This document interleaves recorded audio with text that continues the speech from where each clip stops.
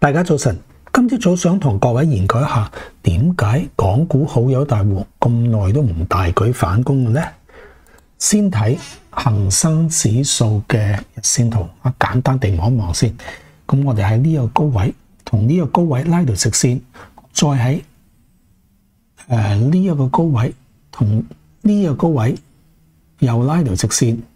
啊，咁我哋睇到有兩條嘅下降軌阻力啦。咁暫時咧都係見到恒生指數向呢兩條線進發嘅。尋日咧就創出誒呢一個反彈啦，反覆回升嘅新高位。不過可惜收市嘅時候就錄得陰燭啊，咁顯示出高位嘅阻力都好大嘅啊。呢個二零一七三啦，前邊嘅阻力都好大，咁就誒。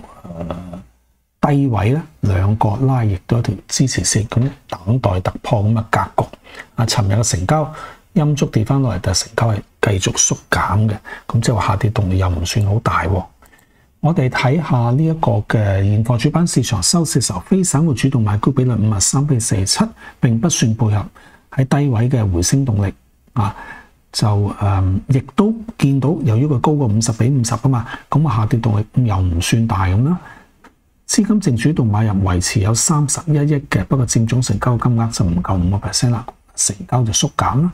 誒呢一個嘅賣空金額比率咧就略為回升，到二十二點五八九 percent 嘅。主要嘅指數咧望埋去，嗯，恒生指數升零點二六個 percent，國企指數零點二八 percent，科技指數就得零點零一嘅 percent 輕微升幅嘅啫。升嘅股票數目同跌嘅股票數目普遍嚟講，升都係多過跌嘅。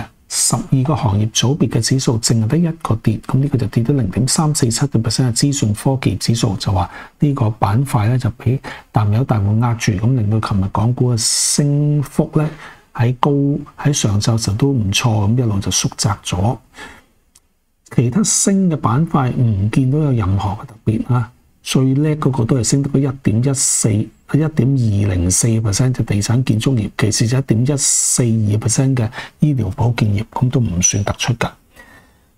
真正變動咗啦，五個指數咧，最後錄得都係正數嘅，咁升幅亦都唔大嘅，最大一個係國企股都係零點四六七 percent，零點五個 percent 都唔夠。